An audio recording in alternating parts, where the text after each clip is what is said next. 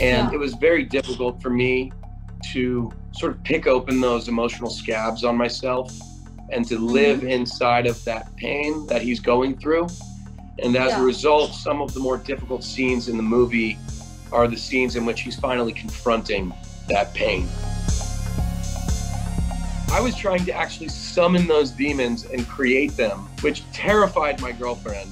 And actually, we summoned a couple demons by mistake.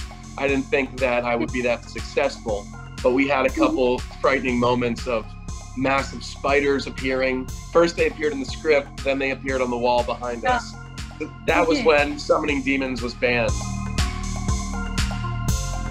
A lot of mental disorders can be benefited in some ways through therapy and through meditation and through personal growth. This was not about that. You know, this is a person who is suffering. Mhm. This is a woman who is going through struggles that sadly many of us have dealt with firsthand, myself included, and, and Keith included.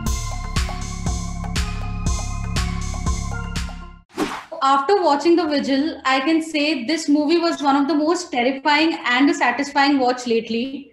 I am a huge fan of horror movies, and I must admit it was a break from watching those Christian horror movies as The Vigil steeped into the ancient Jewish lore and demonology. So, Dave, a huge welcome to E Times, and we are so happy to have you joining with us today. Thank you. Happy to be here. So, talking about the film, as an actor, you not only had to offer a frightening and a terrific performance, but you also had to accurately convey those Jewish traditions and prayers. And the fact that you did it all alone there. I want to know what made you say an absolute yes to the film and which was the most intense part shooting for? Okay, yeah.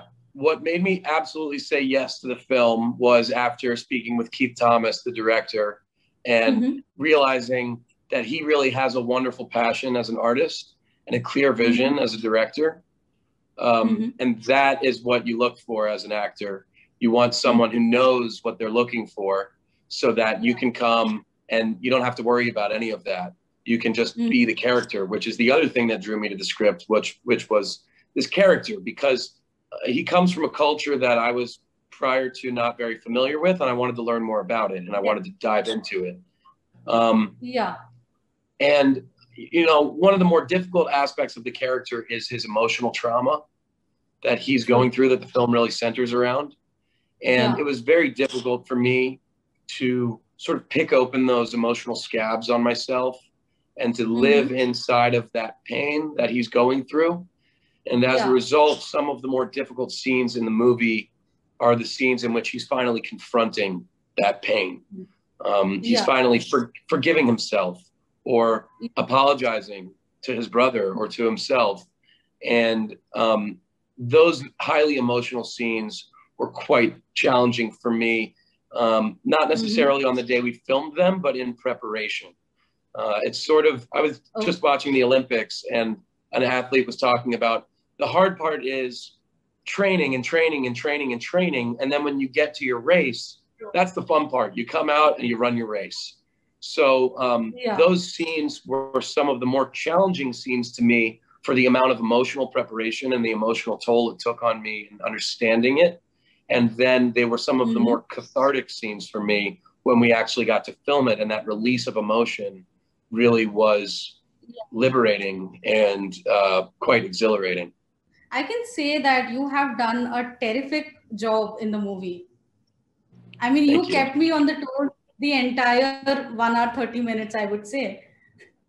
So happy to hear So- that. Mhm. So, another important element was the movie didn't throw horror down your throat like a lot of modern movies do lately. In fact, it used horror to fuel the entire narrative. What was your creative process in approaching the script and approaching your character? So I approach every character the same, regardless of the genre. You you start from the Mhm. ground up. You try to understand where did they come from, what do they want in life, who are they talking Yeah. to, and uh, so in that way it didn't matter. But I also knew that there was a special challenge in this character and in this script because Yakov spends so much time alone, and Yeah. um, and Keith Thomas would often tell me there's two main locations in this film the house and your face. Yeah. And so I started kind of toying with this idea of having to build things off camera within my mind. So, for example, if I look off camera right here and I tell you there's a refrigerator over there, I've now created the refrigerator over there. Or if I tell you there's a window over here, I can see a tree outside, I've now created the tree outside.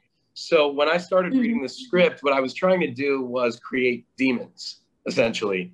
I was trying to terrify myself into believing, you know, that feeling when you're home alone and you see a dark, dark shadow in the corner, and even though you know you're alone, you go, "Hello."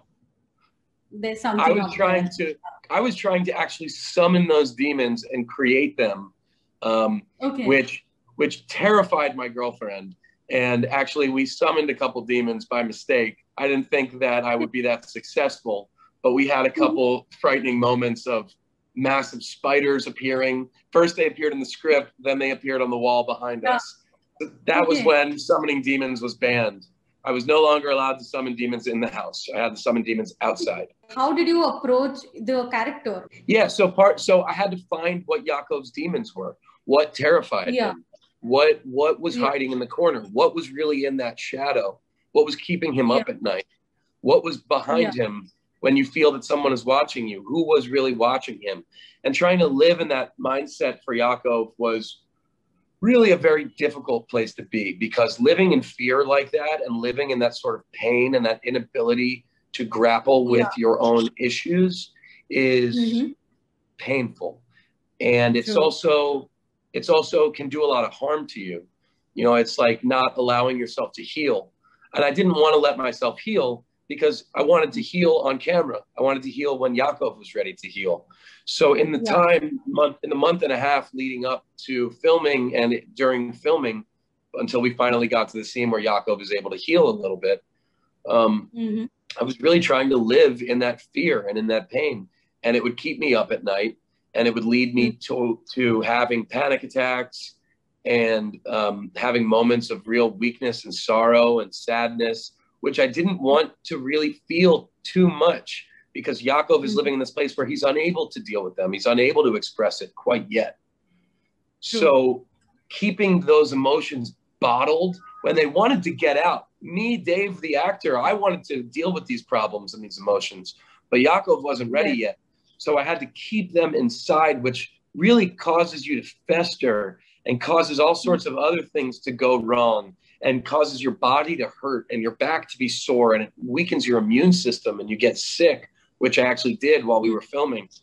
And mm-hmm. um, and as a result, it, it influenced Yakov's physical tendencies and uh, the way that his body moves and the way that the pain is expressed when the monster re- refuses to let him leave and the pain is literally becomes physical pain inside of him I was able yeah. to not just put that pain onto Yakov. Oh, this is what we think it should look like. You know, the mm-hmm. script, Keith Thomas wanted it to be in his hand, but it, I can't just say, oh, my hand hurts. How does Yakov's hand hurt and why? And why his hand actually hurts because of this internal emotional pain that he's unable to deal with. So it, it, we had to figure out how does that emotional pain turn into actual physical mm-hmm. physical disruption. So, you know, during the first half of the film, there was barely any communication happening. And your eyes nailed every expression when you reacted to the mishappenings in that room. So, you know, as an actor, was that something you consciously paid attention to since there's no acting and you had to act it all out with your eyes? Yeah, actually. So the other actors in the scene became the, t- the clock, mm-hmm. the ticking of the clock, the spider yeah. running past, the body. Yeah. Right. So these yeah. are all of the things, and also Yakov's demons, both internal and literally. Like, is he seeing something in the corner? So True. I had to map out exactly where all of those things took place, so that mm-hmm. when Yakov looks at the clock to see, you know, is it how much time has passed? It's only oh my god, it's only been five minutes. Um, yeah. I wanted to actually know what internal journey he was going on that led him to the thought, I'm going to look at the clock. And then, like, what internal journey is he going on that leads him to the thought, I wonder mm-hmm. how much mm-hmm. time has passed. I'm going to look at the clock again. Yeah.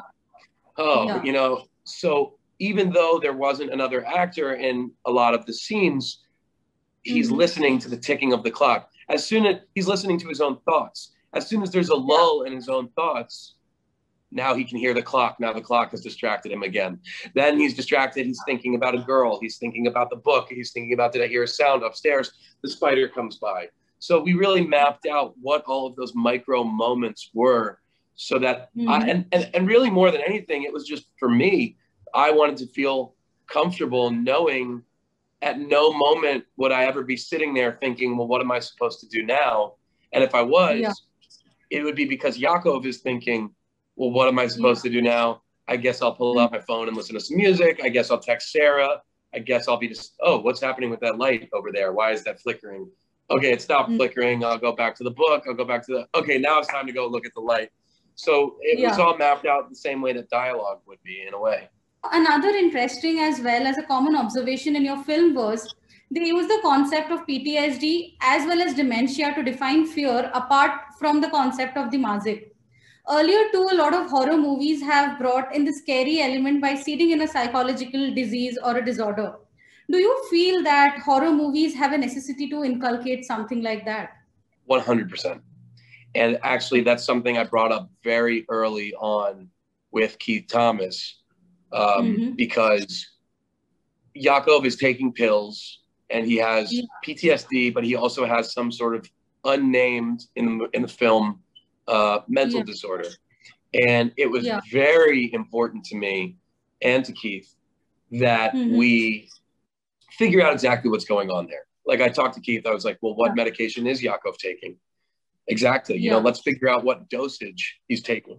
Let's figure out how that would affect him. Let's figure out, mm-hmm. you know, how would Yakov behave after not having taken a pill for a day and a half and then having taken mm-hmm. a half of a dosage? How would he behave five minutes after having taken a half a dose versus an hour after? You know, would that pill have really have settled him down a little bit? Would it affect what he's seeing? Would it have how would it would it intensify? Would it cause more anxiety? Can pills like that increase the effects of mental, mental disorders, depression, anxiety, stuff like that? Uh, and we also wanted to be really sure that we weren't demonizing, you know, that this isn't just the story of someone who is oh, he's he's crazy. And now that he's decided to not feel grief anymore and he's conquered his demons, now he doesn't need pills anymore.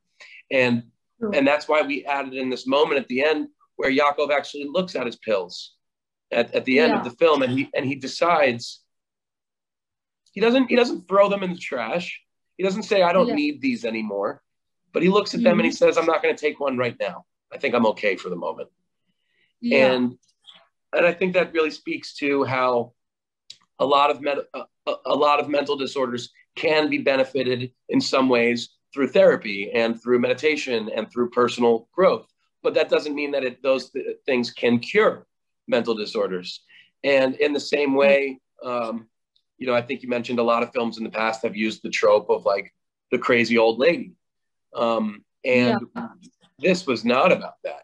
You know, this is a person who is suffering. Mm-hmm. This is a woman who is going through struggles that sadly many of us have dealt with firsthand, myself included, and, and Keith included.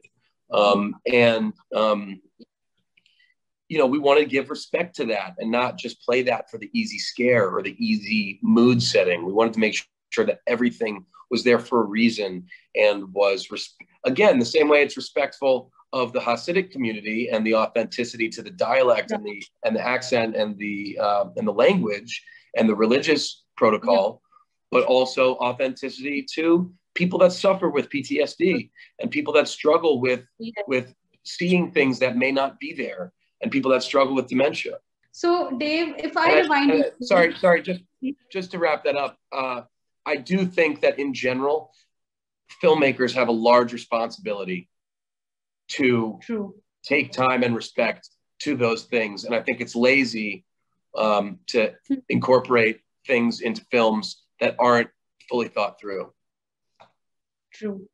So, Dave, if I rewind a little, you have explored every genre possible in Hollywood cinema. And now that you have made a significant mark of yourself in this industry, how do you maintain your individuality as an actor while still reinventing yourself? You know, I just love good stories. I love I love people. I love learning mm-hmm. about people. I love trying to understand what would motivate someone to do something. You know, I wouldn't mm-hmm. have done that. Let me understand why that person did that.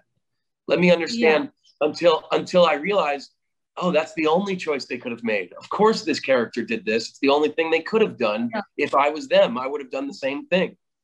And so mm-hmm. I love stories with good writing, good characters, interesting mm-hmm. cultures and populations. And mm-hmm. uh, I love playing all sorts of different genres. I like John. I like drama. I like really talking to people and really exploring human conversations. But I also love comedy, and I would love to play with that some more. And um, as far as you know, continuing to reinvent myself, I don't really feel that I need to. I just need to treat every character with respect and treat every character as they are, which is a complete person deserving of time and care and attention. And um, so I don't worry about recreating myself. You know, I, I recreate myself in my personal life all the time um, yeah. for fun because I like to, because. I like to explore myself and the world and, and, and change things up and learn more about myself in that way.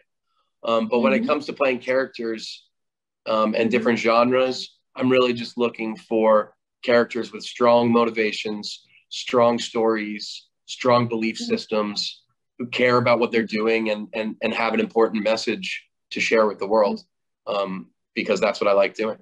So thank you so much for doing this with me, Dave. I had a great yeah. time with you, and I look forward to seeing you more on screen. So Thanks all so the much. best for projects. Thank you so much for taking our time for this. You too.